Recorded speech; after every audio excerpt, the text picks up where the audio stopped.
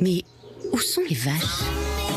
Eh bien, entre l'aile et la vire en Normandie, les vaches sont plus souvent dehors que dedans pour manger de l'herbe fraîche.